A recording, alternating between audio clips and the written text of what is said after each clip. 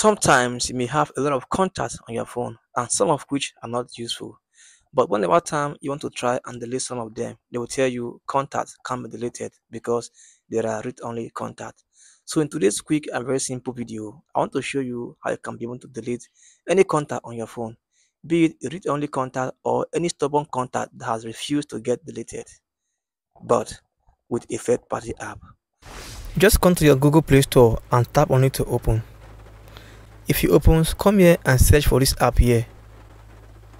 You can see here, Easy Contact Cleaner, right? Tap on it. Now go ahead and install this app. Then after that, come here and open the app.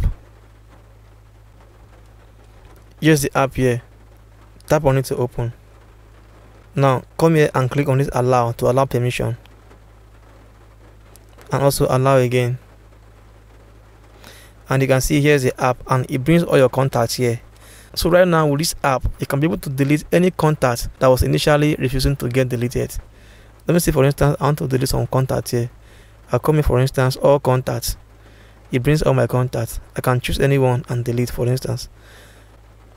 Just delete some contact now. There are some that i don't want so i'll just come here and select some.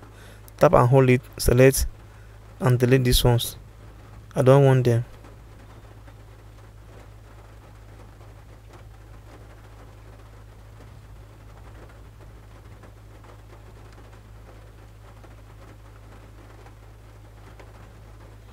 Then after selection, I come here on this delete here and tap on it. And you will see delete selected contacts. So I'll go ahead and tap on this delete. And they will get deleted without asking you or telling you that contacts are read-only contacts. So that is it. If this video was impactful, please make sure you click like, comment, subscribe and share. Bye.